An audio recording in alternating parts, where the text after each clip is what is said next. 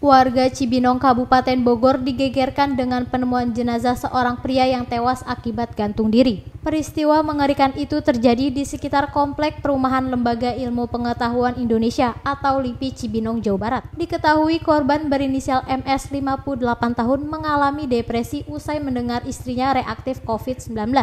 Menurut istri korban, ia menemukan suaminya tergantung di dapur dan berupaya menurunkan korban berharap masih bisa tertolong. Namun setelah dibawa ke tempat tidur, ternyata korban sudah tidak bernyawa.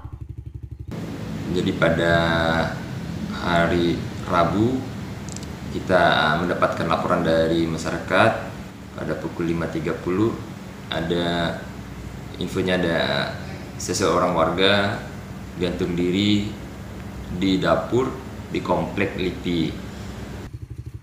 Dari Cibinong, Jawa Barat, Jans Evan Putri dan Yohanita Tribrata TV, salam Tribrata.